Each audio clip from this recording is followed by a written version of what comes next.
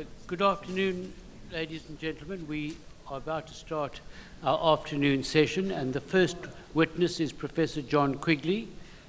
Uh, Professor Quigley, would you come to the podium, please?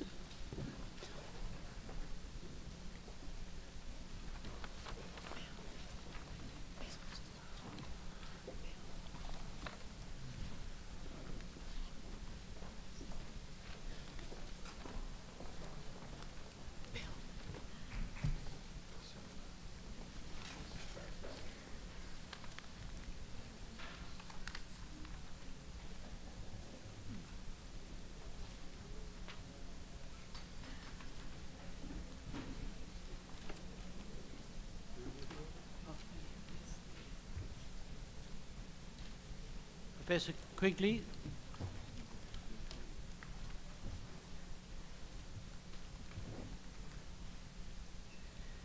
Yes. I want to take up some themes that, that were uh, initiated this morning, in particular uh, in, in, Peter Hansen's uh, discussion about the United Nations uh, and what might be done there.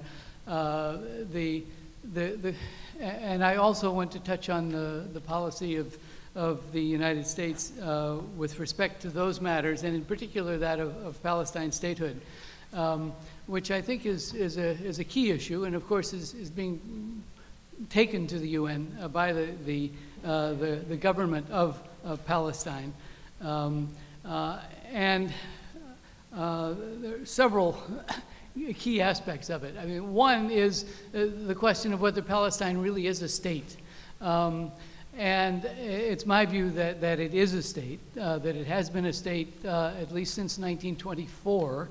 Um, uh, but that's something where I find there's a great deal of disagreement uh, uh, among uh, scholars, um, even scholars who generally are, are, are taking positions supportive of, of the Palestinian cause.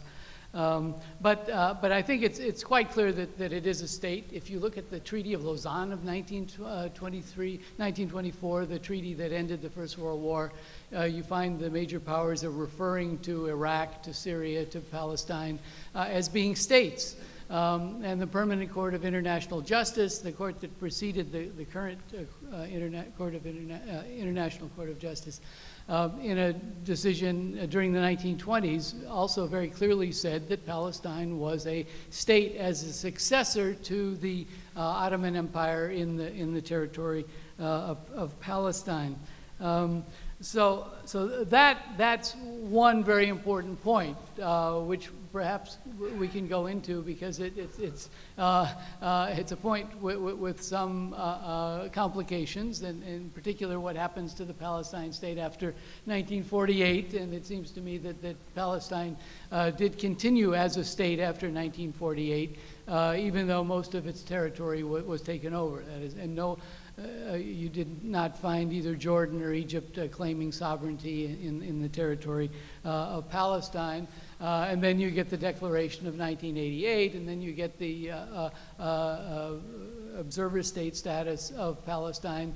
and even though now Palestine is asking for a non-member state status for its observer mission.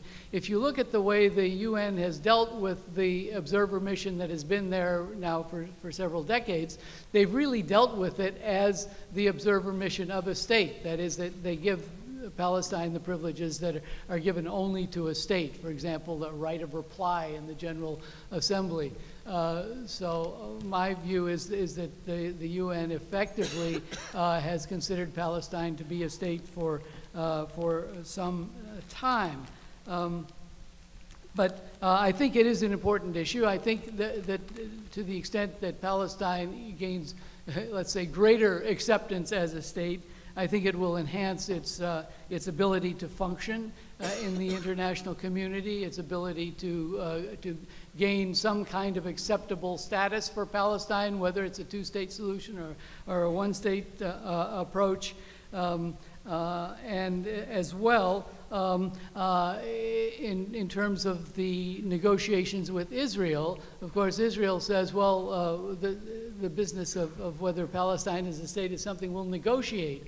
Uh, and it clearly takes that off the table if, if Palestine uh, is, is, a state. I, have always found it strange that the government of Israel can take that position because if you look at the Declaration of Principles of 1993, it specifies the issues on which there is to be negotiation. uh, uh and one of them is borders. Uh, there's nothing in the Declaration of Principles about Palestine statehood. Uh, that's not something that is on the table uh, according to the Declaration of Principles. Uh, and borders, uh, with whom do you negotiate borders? You don't negotiate borders with an NGO, uh, you negotiate borders with a state. So there's an implication there of, of statehood. There's also, of course, the question of, of uh, the uh, capacity of the International Criminal Court to deal with, with uh, uh various issues relating to Palestine, prominently the, uh, uh, the Gaza war and the settlements. Um, and to the extent that Palestine is accepted as a state, the, the declaration that it filed in January of 2099 you know, may, may be accepted by the uh, Office of the Prosecutor uh, as a basis for uh, in, initiating investigations into the atrocities of, of, the, of the Gaza war um, uh, and in particular into the settlements, because the statute of the International Criminal Court says quite clearly in the definition of, of war crimes that one form of, of war crime or one, one manifestation of war crime is facilitating settlements in occupied territory. Uh, so that's a very practical uh, uh, uh issue. The, um, the, the move that's being made now, of course, is to ask for non-member uh, uh, state status, which I think would be uh, a, a, significant advancement. Um, uh, it, it's a bit strange in that UNESCO has already done that, and UNESCO involves the same states that are in the General Assembly. So, in a way, it seems a bit superfluous. Uh, uh, and in a way, it seems odd that the prosecutor at the International Criminal Court didn't consider that a sufficiently uh, a firm statement of the international position about, uh, about uh, Palestine statehood because in order to become a member of UNESCO, you, you have to be a, a state. That's one of the requirements of, of admission, and Palestine was admitted by, uh, by a comfortable margin in, in, uh, in, in, UNESCO. Um, so um, the, the other issue about how to proceed at the, at the United Nations um, uh, relates to membership. Of course, that's what Mr. Abbas asked for a year ago. Uh, the matter went to the Security Council. The United States put incredible pressure on, on a number of states that were at the time members of the Security Council uh, to uh, uh, prevent there being a, a nine-member majority uh, for that uh, to go forward because the United States was obviously prepared to veto but didn't want to have to veto. Uh, so it put great pressure on other states to uh, uh avoid uh, the, the possibility that it would, would be in a position of exercising the veto. One thing that I think is, is possible um, is that the General Assembly could deal with the membership issue on its own. That is, forget the Security Council and admit Palestine to membership. Um, and it is generally assumed that the General Assembly does not have such a power.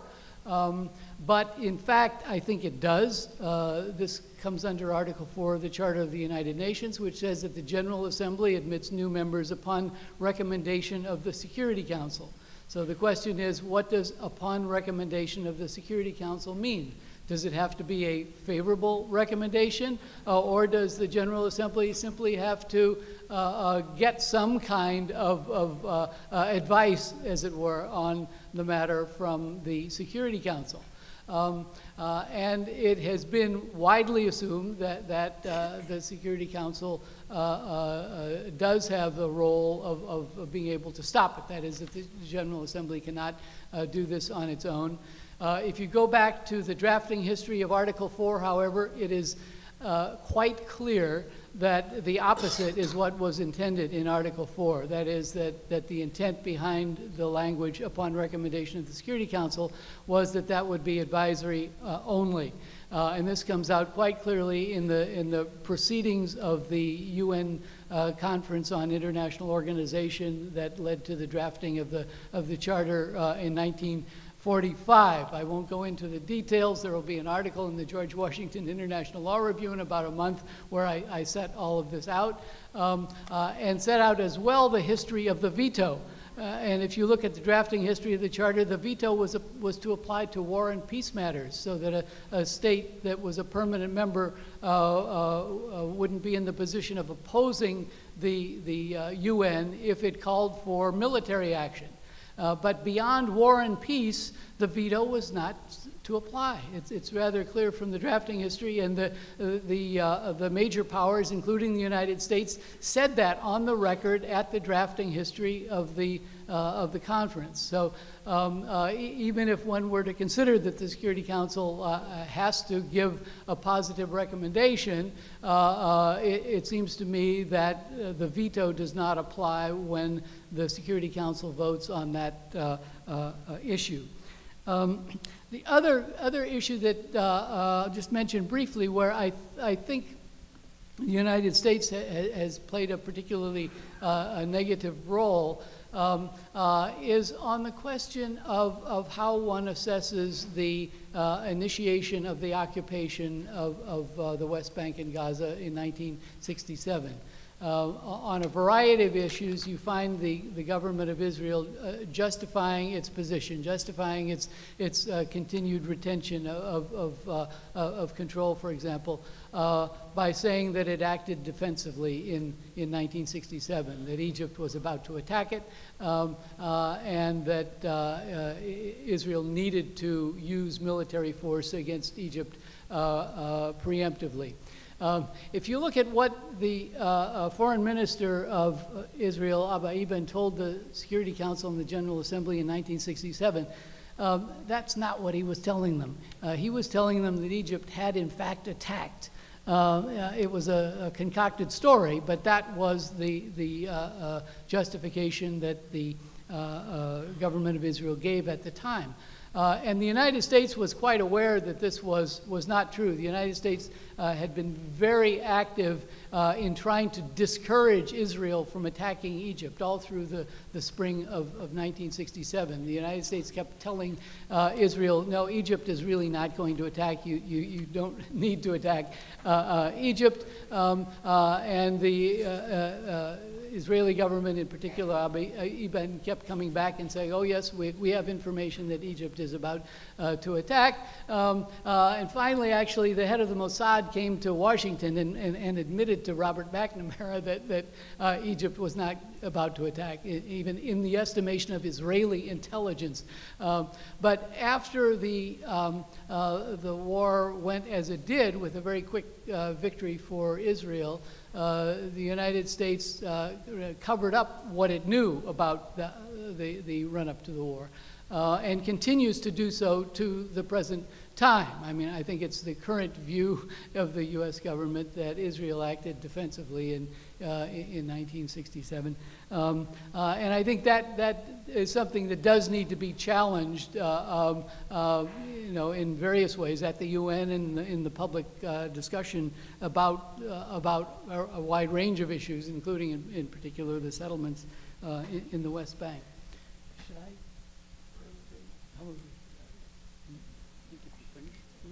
Yes. Thank you very much, John. Uh, perhaps I could start with the, the first question. Uh, you have um, mentioned the possibility that Palestine might approach the General Assembly of the United Nations for uh, non-member status uh, later this uh, year. Uh, you haven't said anything about the possibility that the International Criminal Court might consider this matter in November because, as you know, a move has been made to the uh, Bureau of the Assembly of State Parties to request it to uh, place this matter on the agenda. And so it is possible that the Assembly of State Parties of the International Criminal Court may decide to admit the Palestinian Declaration uh, accepting the jurisdiction of the court, which would have the effect of uh, acknowledging the statehood of Palestine, at least for the purposes of the International Criminal Court. Could you comment a bit on that? Yes, I, th- I think that would be the, the effect. Uh, the, the Assembly of States Parties has a, uh, as a, uh, a role. I, I, I don't need to say this for, for Professor Dugard's benefit because uh, he knows all this much better than I do. But uh, uh, the Assembly of States Parties uh, has a kind of oversight role under the statute of the International Criminal Court. And it has been approached by a number of scholars, actually led by Professor Dugard, to, uh, uh, to take a position on this issue, uh, given the fact that the Office of the Prosecutor has, has, has kind of put it off. Um, uh, and that, that, uh, that would be another significant step, certainly, in the international acceptance of, of Palestine as a, as a state more broadly, even you know, for matters beyond the International Criminal Court. Thank you. Uh, Michael? Yes, yes, it's a follow-up to that question. That if in fact they do accept uh, Palestine as a state, state, that's a recognition point. But there's a further point, is there not, in relation to the empowerment of Palestine in relation to the criminal court itself. In other words, the initiation of investigations and also requests for cases to be brought before it, some of which, of course, relate to Palestine. Would that not be a re- repercussion if it's successful? Yes, that, it would, uh, uh, would then uh, uh, put Palestine in the position of being able to initiate uh, the, these cases. I think that's right. Uh, that, um, I mean, what, what Palestine did in 2009 was to uh, file a, a declaration uh, giving the court jurisdiction over any war crimes that had been committed in Palestine since the time of the court's uh, uh, entry into existence uh, with jurisdiction, which is the, da- the date being July 1 of 2002. Um, uh, and and that's, that's quite broad. It, it gives the court jurisdiction to do uh, investigations of quite, quite a lot uh, uh, uh, uh, relating not only to the Gaza war, but, but to other matters. But sorry, Yes, a please. supplementary. I mean, the, the point is the court hasn't done anything of its own initiative. In other words, it's the same question that I raised this morning. They do nothing unless they're prompted. And giving them jurisdiction has not meant that they've steamed in to use it at all. No doubt they're afraid of various repercussions. But once Palestine becomes a recognized state in relation to the assembly, it seems to me Palestine should then take a very active role in ensuring that cases are brought war crimes, settlements, whatever you choose. Yes, uh, yes, uh, definitely. It, it, it, it's not only, as you say, a question of jurisdiction, but a question of bringing issues before the, the uh, court uh, by presenting information. That's how the court uh, operates, is on the basis of information presented by states or, or by, by anyone else. Uh, uh, and that clearly uh, uh, needs to follow and would be an additional uh, uh, issue. The fact that the court has jurisdiction doesn't necessarily mean that it's going to act or even that anybody will, will bring uh, uh, uh, uh, evidence before it. Uh, for, for an example, the Gaza flotilla, um, 2010, the Mavi Marmara, the, the acts that took place on board that ship resulting in, in deaths, possibly involving war crimes. Um, that, in principle, is under the jurisdiction of the International Criminal Court because the Mavi Marmara, about a month before it sailed to Gaza, was re registered from Turkey into uh, the registry of the Comoros Islands. Um, and the Comoros Islands is a state that is a party to the statute of the International Criminal Court. And according to the statute of the court, if an act occurs on board a vessel registered to a state party, that act comes within the jurisdiction of the International Criminal Court. Uh, but so far, uh, that hasn't been pursued. But, but, uh, but to make to the, the point here, uh, the, that uh, there can be jurisdiction, but until someone acts upon it, the, the, the court is, is not going to do anything.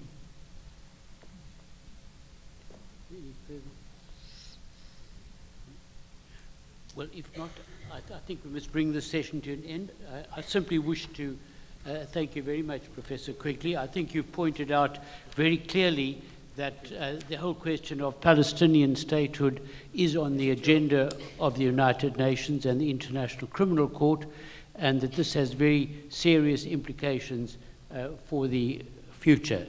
I realize that the United States will do its best to block these measures, but uh, I think these are important issues. Thank you.